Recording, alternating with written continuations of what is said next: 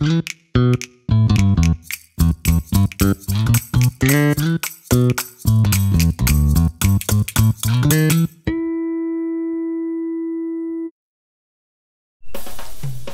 にちは。元サイクル大学の元です、えー、今回は私の愛車 ZRX1100 について、えー、紹介をさせていただきたいと思います、え、カスタムも少しですがしていますので、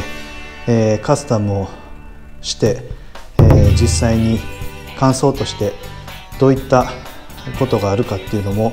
お伝えできればと思います。あのまあ興味が、え、ございましたらお付き合いいただけたら幸いです、え、結構ですねあの時間的に長くなってしまうと思うので、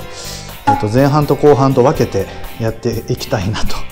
思います。えっ、とまずですね年式ですが、えー、と2000年式ですので、えー、と今年で20年あの20歳になりました、え新車で、え購入をしてですねえ、もう20年経ったのかっていうすごいあっという間に、え、過ぎたっていう感想です。で車体自体にはですね、まあ、傷もなく、まあ、大きなあのトラブルもなくですねあの、まあ、走行距離はそんなに乗ってないんですけど、まあ、よく、まあ、20年間ほぼあの大きなトラブルなく走ってこれたなという感想があります。でカスタムをしている、えー、っとポイントなんですけど、えー、そうですねちょっと前の方からいきましょうかね。と一番大きいのはあのホイールです。ホイールはあの、えー、ゲールスピードタイプ C という5本スポークのホイールに変えています。でホイールを変えてでの感想はですねもう本当にもう軽いんですね。全然重さが違うのとカーブ曲がっていった時のこの感触っていうのはもう全然ノーマルと違いますね。本当に軽い、えー、こうスムーズに曲がっていく、まあ、タイヤの影響もあると思うんですけど、えー、そういう、えー、印象が変えた時にはありました、ホイール交換考えてる方あの、まあ、高額なんで悩むと思うんですけどすごい効果はあると思います、まあ、ちなみにあのこれはアルニのあのホイールになっています、まあ、マグネシウムはちょっとなかなか、えー、金額的にね買うのが難しかったです。えっと、フロントフォークはノーマルですが、えっと、中のスプリングをハイパープロっていうスプリングに変えているので結構あの硬いですね、えー、段差があるところだとあのやっぱ跳ねます、えー、ただやっぱりコーナリングはあのすごい、えー、ホイールとの効果もあってよく、えー、なっていると私は思っています。えー、ブレーキに関してはノーマルです、えー、ただメッシュホースに、えーと、変えているのと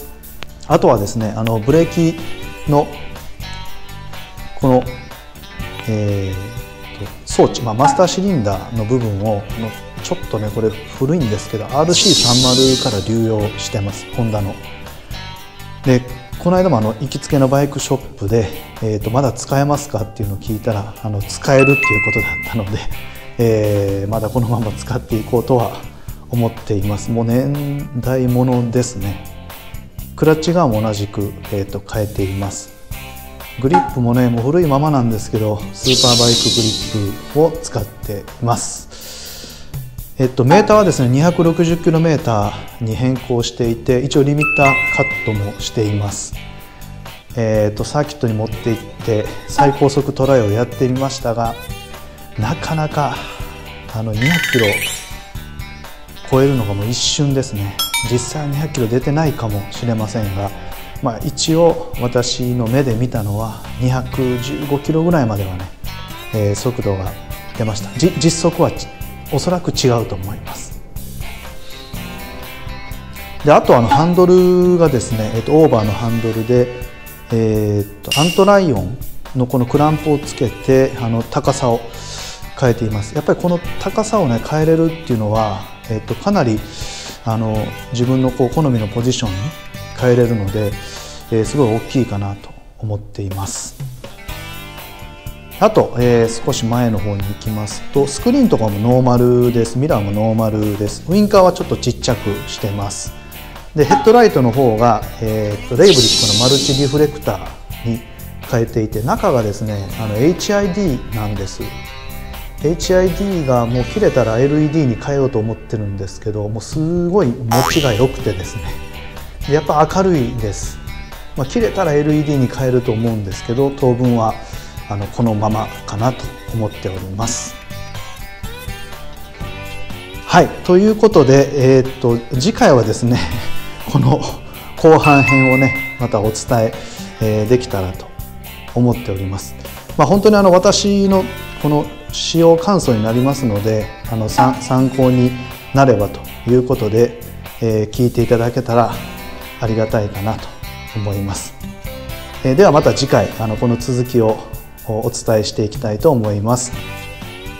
最後までお付き合いいただきましてありがとうございました。